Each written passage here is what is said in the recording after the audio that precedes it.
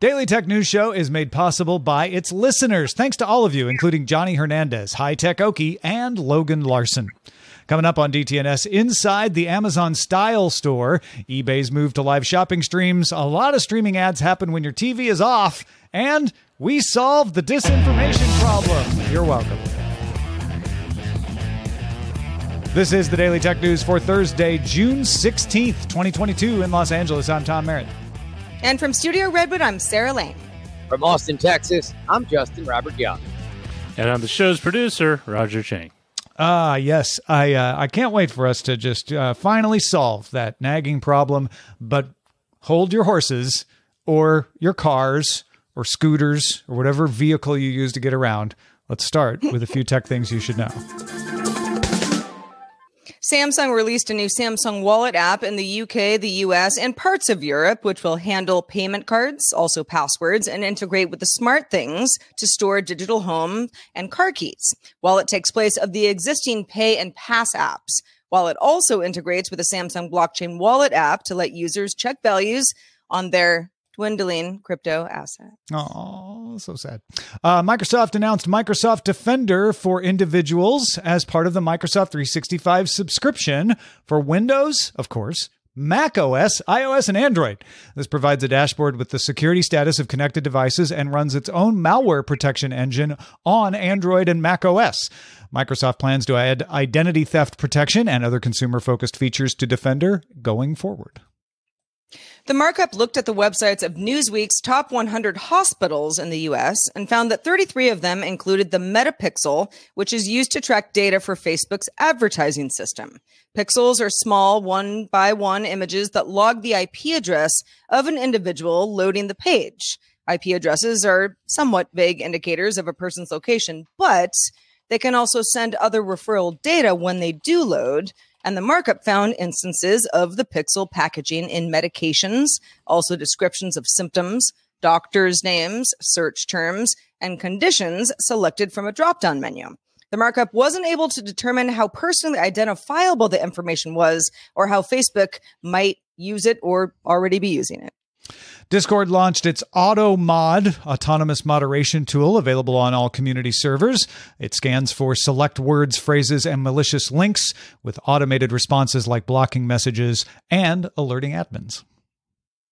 Elon Musk's The Boring Company has received approval from the city of Las Vegas, Nevada to bring its underground transportation system called the Vegas Loop to city limits. The Vegas Loop was originally a 29 mile uh, tunnel network connecting 51 stations. Now the network is said to expand, at least granted the ability to expand to 34 miles and have a total of 55 stations, including ones that will serve the Harry Reid International Airport and the Allegiant Stadium. Tunneling could begin in 2023, according to Boring Company President Steve Davis. You really will be able to never see the sky in Las Vegas. from the minute you land. You know, I, you know, it, that, that was always my my my gripe with Vegas: too much sky, not yeah. enough indoors. Oh man, I had to actually step outside. I only want the fake sky that's in the mall in the Venetian. Come on, man. I, I lost three hundred dollars at the tables in the Hyperloop. What a bummer. All right, let's talk uh, about what's going on with shopping online. Let's do it. So, if you if you can believe it, it's really been a year since Andy Jassy took over from Jeff Bezos as CEO of Amazon. How time flies. The Wall Street Journal has an article looking at that first year and noting the moves by Amazon to cut back on the spending that accelerated during the pandemic lockdowns. Amazon is certainly not alone and a company that has had to scale back on that. One aspect of that is shutting down physical stores like Amazon's four star and bookstores, but also opening new ones such as Amazon Style, that's a clothing store. Now, Tom, we know you went to one yesterday. Uh, not everybody is near enough to go to phys- uh, physically uh, hang out at an Amazon style store. So, how'd it go? Yeah. Uh, so the Americana in Glendale uh, has one of the Amazon style stores. They shut down the four star store there and opened up Amazon style. Um, it's interesting.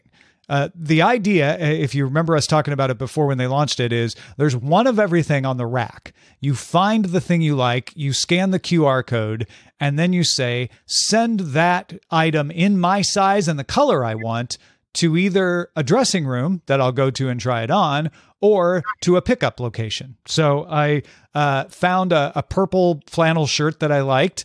And I, I decided, you know what? I'm not even going to try it on. I'm just going to send it to the pickup station. So I went over to the pickup station and uh, picked it up. Uh, I had to wait like five to ten minutes from the time that I that I scanned it. So I actually they had a little seating area that I sat at and waited. Then I saw it come out and go on the ha- rack, and I walked up and I was like, "Oh, that's my purple shirt." They're like, "Oh, great! Can we see your app?" And so I opened the app. They scan the app. They're like, "Okay, great." And then they go back. They, honestly, I honestly, they looked around for it. I'm like, "It's the only thing on the rack. Like, Yeah. it's not going to be hard to find." Then they gave it to me and said, "All right, you just got to go check out now." So then I had to carry it over to the checkout stand and Hmm. buy it. And I bought it in the app that I had just used to scan it. Uh, and then I had to scan that app to prove that I paid for it before they handed it over to me. But uh, yeah, it's a nice purple shirt, very very comfy. Uh, I think for that use case that I used, way more complicated than it needed to be. Well, yeah, because it, it seems like a more complicated version of the treasure truck, which uh, some folks have, have interacted with, but that was an Amazon thing that would bring one item to various different locations in major cities. And uh, because one of them was very close to my house, I bought a bunch of stuff off there because every once in a while there'd be an air fryer for cheap. Uh, but I would buy it right there on the app like you would any other product and then I would just pick it up. So the fact that this is two stages as opposed to one is interesting because they've already had a successful one stage version of this. Yeah, and in fact, I think that's what this is meant for. Is I want to just try it on. Uh, I don't want to buy it yet, so I go in the app and say, "Put it in a dressing room. I'll be there soon." And then you show up, try it on, and buy it, right? Or I think you can also buy it and just pick it up and not have to check out. I did the normal thing you do in shopping, which is browse around, find something, and then not try it on and hope it fits. Uh, Yeah. and it's not really meant for that. yeah. I yeah, and and what you described Tom is like there's one step too many for something like that, you know, to sort of sit there and wait for somebody to take something off the rack that you could have just taken to the register yourself seems a little counterintuitive. But what if you were shopping for 20 shirts? I don't know how often somebody's going to be doing that, but there'd probably a lot of reasons that you would. And then I think that would make a lot more sense of, okay, I'm trying on a bunch of things, yeah. color's not right, fit's not right. Help me just kind of organize everything so I'm not schlepping, you know, all the things that I decide to finally buy, you know, to the register myself. So it does seem like it has a good use case, but mm, not Also- not necessarily for everyday use. I don't want to get anyone in trouble, but I did ask, like, hey, how's it going since you opened? And one of the employees, like, kind of slow. I'm not sure anyone knows we're here. Uh, and it was, uh, there were other people in there. It wasn't totally empty. It actually felt like a normal crowd, but it wasn't like a new store had just opened kind of crowd. There were ads all over the Americana for the store, but I'll be honest, I didn't realize they were for the store and I was going there. They just Yeah. look like Amazon clothing ads. I'm like, oh yeah, Amazon sells clothes. Like they didn't make me think, oh, there's an actual location I should go to in this mall. Man, Once if you were- they had a location targeted mailing list. yeah, right. Once you were only. in the store, did the store remind you of any other retail stores you've seen before, or Yeah, did it, it- feel really different? it felt like like a Zara, but with only one of each thing on the rack instead of you know five. okay, Yeah. yeah. So it sounds like it's Well- optimized for people who are trying on a bunch of stuff. Exactly. this, Yeah. this is browsing and optimized for browsing stuff. For that, I would say traditionally, you know, women's clothes tend to be a little bit more Byzantine in their descriptions and listings and everything. So trying things on is more of a necessity than men's clothes, which is a little bit more forgiving. You need to know a few numbers and a few letters, and, and you're pretty much able to dress yourself, even if you get it a little wrong.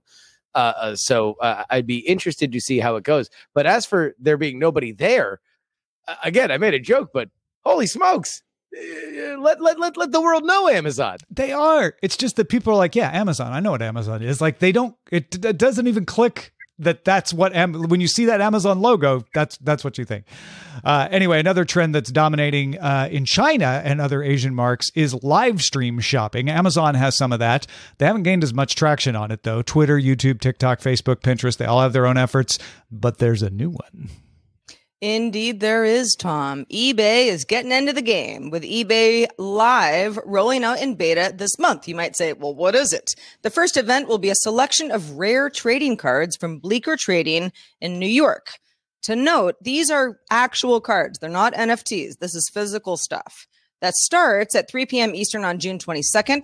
Highlights will include a 1995 Topps Finest Michael Jordan M1 red bordered refractor PSA 9 mint and a 1998 Kobe Bryant Skybox That's Jam PSA 10. If you know, you know. Shoppers can access the live event in the eBay app or website. Also interact with the, the sellers in the chat to ask some questions, you know, and make sure it's what you want. And then, of course, buy the thing. Yeah. Well, best of luck to eBay on uh, conquering live shopping in the United States when it's huge in other parts of the world. What do you think that is? I don't. I don't know. I think I. I- th- hmm, yeah, I, I think people think QVC when they hear it and then don't try it, and there was not that history elsewhere. hmm So you think Q- Yeah. QVC salted the earth? Yeah, Cool. and the people who like QVC go to QVC, so they don't they don't go try the new thing. I, I think it's because it is fairly pervasive in our culture. Like there's a lot of sponsored stuff. There's a huge market for people demoing things and trying things out. And that's ultimately what you get from this kind of stuff because we're making informed consumer decisions. So Yeah, let us know what you think. If you've got a theory on, especially if you're someone who's in one of the markets like like China or Korea, uh, where this is huge, like why do you think it's not catching on over here in North America? Feedback at Daily Tech. Well, and there's pro- there's probably more than a few folks saying it has caught on, and I'm one of the people that you know is is super excited. yeah, but about by numbers, it's of not even close to what it is. not even close. Yeah, yeah. Yeah, I mean, my answer is always, well, only so many people, you know, kind of want to be collectors. But again, that's still a large number of people. Well, moving on to ad companies. We all love them. We often hear about them targeting you based on a huge amount of personal data that they can access based on your behavior and your history. We also occasionally joke about how this seems to end up with you seeing ads on pretty much every website or social network for a product that you just bought and therefore are no longer shopping for. For example, I bought the linen sheets already. Why do you keep showing me the ads for the linen sheets? Truly a thing I go through every day of my life, although sometimes I think about getting more. But the Wall Street Journal has another story about ineffective ads, ads that just don't work at all. So, Justin, what is the story here? I'm so glad you asked, Sarah. A study by ad buying company Group M and ad measurement firm iSpot.tv found that about 17% of ads shown on television connected to a streaming device, Roku, Apple TV, Chromecast, etc., are playing while your screen is off. It happens most often while viewers are watching free streaming channels like Pluto TV and is estimated to result in a couple billion dollars worth of ads unseen by human eyes. Sometimes when you turn off the TV, the device uh, gets the message through the HDMI and turns itself off, but not always. This pretty much doesn't happen if you use smart TV apps since the app stops running when the TV turns off. Yeah, it sounds like we're going to start seeing a lot of work to detect if your television is truly off, even if the screen is off and is has stopped playing ads because that is important information for advertisers. And you'll definitely see more attempts by apps to put up one of those are you still watching Netflix X prompts after a certain amount of time has passed without you taking any action in an app? Yeah, when I when I first heard this story, I was like, really? I mean, I turn off my TV, you know, I I you know, with voice commanded pretty much every night. Does this apply to me? And I don't really think it does with most of the apps that I use. But uh this is this is really good intel for anybody who cares about this sort of thing. Yeah, if you're watching Netflix, this doesn't apply, right? Netflix doesn't have ads yet. Uh, might someday. And if you have autoplay on in Netflix, it could apply, but you've probably been trained to remember, like, oh crap, I forgot to close Netflix last time, and it like just kept playing, and now I have to go back and and and reset Mhm. uh, my play. Pluto TV though, there's there's no downside. If you're just watching that grid and you're watching that Golden Girls channel and then you turn off the TV, it just keeps going.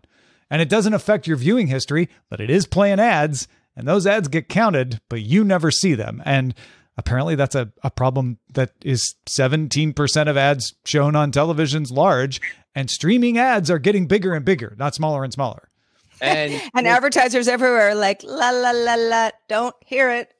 no, Didn't but it- Don't want to It has know. been a problem since the beginning of display ads. From the very first time that somebody sold a spot of their cave for which a local business could paint their logo on it, we have had the problem of trying to track exactly how many people are going to see this thing. Newspapers count circulation despite the fact that there is no guarantee that they're going to see your ad on page three of the sports section. Uh, uh, there have been problems with television ads, and you are only trying to guess based on a flawed Nielsen system exactly how many people are doing it. Same thing with magazines, same thing with radio, same thing with every other version of this. These kinds of ads are by definition scattershot. So the fact that we even have a quantifiable look at something that we now understand is total waste is actually a huge quantum leap forward for this method of advertising. Yeah. There is a reason why targeted ads that came through on Facebook and Google immediately overturned the industry. Adding that level of granular analytics to advertising was and remains today in the year of our Lord 2022 a game changer. Yeah, I, I think the diff- the only difference is uh, with a display ad, you had to survey people to find out if they saw the ad in the newspaper. With web delivered ads, internet delivered ads, you know they got delivered and you know where they got delivered. Uh, and so the fact that somebody might not have seen them is something you think you can solve with an HDMI sensor, you know, with, with like with a with a prompt. It's like, well, maybe we don't have to settle for the problems we had with the display ads. That that but that that's so well said, Justin. That's really the only difference here. Yeah, we just know, and and, and that's you you couldn't guarantee that when you bought an ad in a popular magazine that it was ever going to be seen by the amount of number. I mean, because you're buying an ad based on circulation. That's how these things used to work. Let, us say magazines, for example. So you're saying, okay, the ad rate is say, set based on the fact that there are X number of subscribers, there's X number of people that we distribute this to. They sell it at X number of uh, stands across the country. You're paying for that despite the fact that almost certainly not everybody that it has a circulation for is going to read the magazine, let alone see your ad. But that's just how it is. You you, are you are building. But that's in- not how it is. On, that's not how it's been on the web since the 90s. yes, Right. And so people got used to the idea of like, yeah, but we don't want to go back to those days. Well, I mean, even then though, right? So let's look at web display ads, which which ran on impressions. And as somebody who ran a blog, But they got better and they got better and they got better. And now we're very sure that those ads we deliver at least get seen. they get served. Whether or not they get seen is a different As we are seeing in today's story. Yeah. especially as they are refreshing, right? Like yeah. Yeah. So uh, this is the problem. But if you're in this game, you understand that you're buying in bulk. You understand that there's going to be a lot of waste here, and what you're hoping They don't want to go back to that though. They don't want to go back to that. they're there It now. kinda- There's no choice. it would be kind of cool is like Pluto TV or a- any other network where ads are being served to somebody with their TV off. Like can figure out how the AI robot within the the uh, the app can see and absorb the ad and then serve content to the human when the TV comes back on later. Let's get Lemoine on that. I bet he can make that happen. Sure. Uh, what do you, either human or AI listening to us, uh, want to hear us talk about on the show? One way to let us know is in our subreddit. You can submit stories and vote on them at dailytechnewsshow.reddit.com. The specter of misinformation on the internet and disinformation, particularly for this story, has loomed large for almost a decade now, and governments and tech platforms keep making stabs at fighting it. In the latest move, the European Commission updated its code of practice on disinformation to now cover manipulative behaviors that include deepfake videos, bots, demonetizing accounts that spread misinformation. It requires platforms to give users tools to recognize and flag disinformation. 33 companies voluntarily signed on to these revised rules. They include Meta, Google, TikTok, and Twitter. Companies have six months to show they are in compliance with the new rules and can be fined up to 6% of global revenue for any violations. The code was first introduced in 2018. And for whatever reason, it's arguable it has not had much effect on the spread of disinformation. Which leads us to a protocol story about the effectiveness of banning political ads, a narrow effort to prevent misinformation spe- related specifically to elections. Twitter's policy, for instance, was to stop taking ads from political candidates, parties, government officials, or PACs, political action committees. Spotify, LinkedIn, TikTok, and Pinterest all banned political ads in a similar fashion. Nonprofits and smaller political organizations complain that the, poli- the policies penalize them more than big corporations. Protocol uses the example of Exxon being able to run an ad about their view on climate change, while a climate advocacy PAC could not run a counter ad. So, what effect have these uh, have these ads actually had? Well, it's hard to say since none of the platforms have opened up their data on the policies or shared any of their own research on the matter. However, former director of Facebook's public policy team and uh, professor at UNC Matt Perault and his colleague Scott Babwah Brennan did some research on publicly available data. They claim that Facebook's temporary ban on political ads that started immediately before and then ended immediately after the 2020 election had minimal impact on the spread of misinformation. It also limited the reach of smaller organizations and limited political fundraising efforts on Facebook. Political ads, as a result, have become more expansive and placed on programmatic ad systems that have less transparency. So we have less of an idea of who's buying the ads and where they're going. But this is one study, and it's far from what is needed to fully understand the impact. My big drum that I've been banging for years is you have to study the effects of these things to understand if you're even solving a problem or just taking a wild guess that something might be wrong and then doing a thing to make yourself feel better and having no effect, which I'll be honest, kind of looks like what has been happening. Well, and especially when we enter into the realm of politics, considering how much how mainstream it has gotten and how much tech companies have taken it upon themselves as being the entire arbiters of all communication, some elements rightly, others wrongly, it means that you also mix in did the wrong political message get out and how do we affect that? How culpable are we to uh, affecting it? Tom, I, I want to ask you this question, you and Sarah this question. What is the line between disinformation and misinformation because I think a lot of people can be confused about this, including us, because we went back and forth with that definition even in the copy here. Yeah. I mean, I guess uh, in a very broadly, I would say disinformation is straight up not correct. It is just. It, so it give, is, me an example. Is, give me an example. Uh, if I said, "I uh, am a canine," I, am a dog. You are. Say, that would be well, disinformation. Okay. yeah. Mm, now I'm telling you, know, you, That could almost be interpreted like I was born a canine and that's what I am. You'd say, well, that's not true.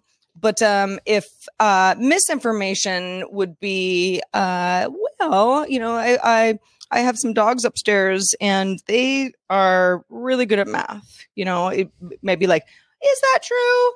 In my in my dog's case, it isn't. Uh, love yeah. you, Otis, but you're not good at math. So that that's kind of how I identify the two separately. So, so, that that would be a thing where somebody would be like, "Well, cognitively, your animals could not be that good at math compared to a human," and you'd be like, "Well, I've owned a lot of dogs, and this one seems to know that I always give three treats, and when I hold back after the second, they're still looking at me, and so I consider that good at math for a dog."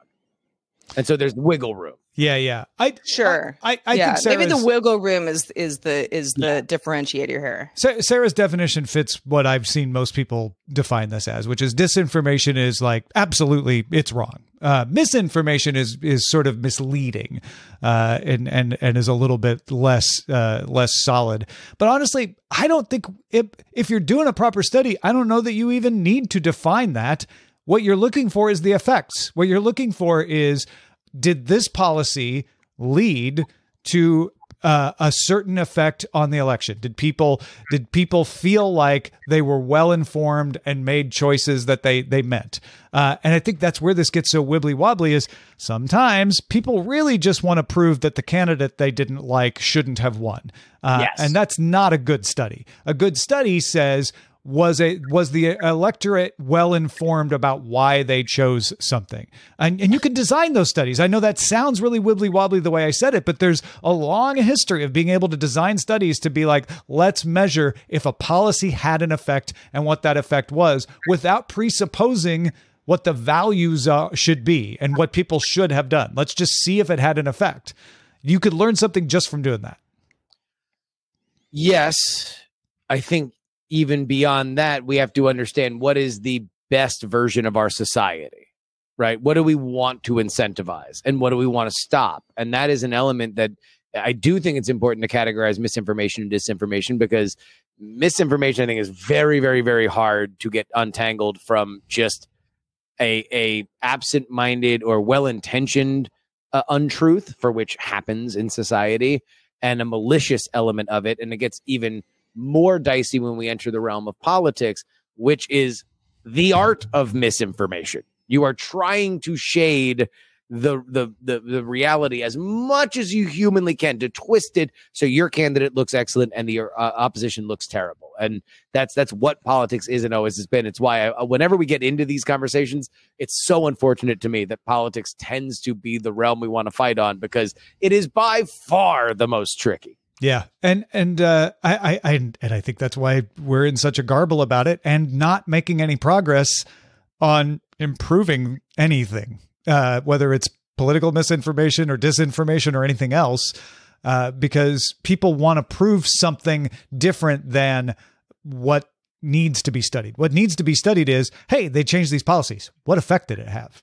Did it yeah. have any effect? Let's look at that. And then you you all can decide what policies you want to do if it had the effect you wanted, if you're trying to push a particular political agenda or if you're just trying to have a neutral playing field. Those are different conversations, but study the effects. We can't do anything until we actually find out like did these policies change anything at all? And we have vanishingly few studies that actually do that. Well, I'd like you all to behold something oh. that I found very interesting this morning, and that is the Floppotron. If you're not Ooh, oh familiar, oh it's a somewhat ridiculously large PC hardware orchestra that plays music using only electric motors, no software. Polish engineer Pavel Zadrozniak has been building various iterations of the instrument since back in 2011. So you may have heard about it. Uh, the first Floppotron was just a pair of floppy drives that played the Imperial March theme from Star Wars, and quite well. However, the Floppotron 3.0 is capable of a full orchestra of PC peripherals. Specifically, and hold on to your butts here, 512 floppy disk drives, 16 hard drives, and four flatbed scanners. Zadrozniak explained in a blog post that the floppy disk drive wall is arranged into columns, each handling a single note at a time. The number of drives involved varies the sound envelope, with the floppies handling the low tones, the scanner section providing the higher pitches, and the hard drives acting as the percussion section. And there is a video, and it will blow your mind, honestly. This is the coolest thing I've seen in quite some time. Yeah, let's just uh, listen to the beautiful music of the Floppotron. This is amazing. And you might say, I don't know, it just sounds like MIDI music, right? Well, and it is. Five, maybe what ha- what has gone into creating this hardware wise is a real feat. Oh, I feel man. like it's better than MIDI. Yeah, salute to Pavel, man. I, I tour with this. Tour with this. You you deserve it. Yeah, can you can you get that into a, a truck with a battery and just like take it around to festivals? That'd be that's a, that is an amazing feat. No, also, he should, oh, he should be playing the Met. He should be playing Sydney Opera House. Absolutely, high art.